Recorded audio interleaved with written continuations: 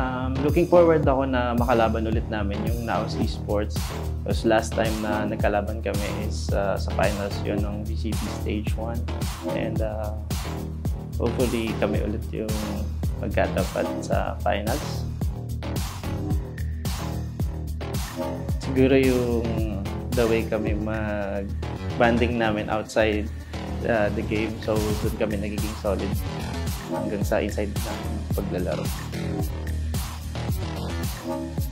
Siguro yung secret na lang din ulit since sila talaga yung rivalry namin way back CSGO pa lang dito sa PH and uh, sana magkalaro kami ulit ngayon BCP.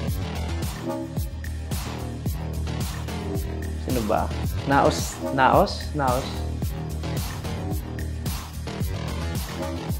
Ayun, batiin ko lang yung lahat ng fans namin and uh, sumusuporta. Siyempre gusto ko lang magpasalamat sa lahat, especially sa boss namin kay Boss Prince and sa mga manager, kaya sa mga analyst and coach namin like Nico, Black and Blue, Sir Lee, and uh, to all my teammates. Uh, thank you, thank you sa lahat ng patuloy na pagsusuporta sa amin. Again, this is Pro from Southfield Esports. Catch us on uh, VCT Stage 2 on PPGL. See you guys.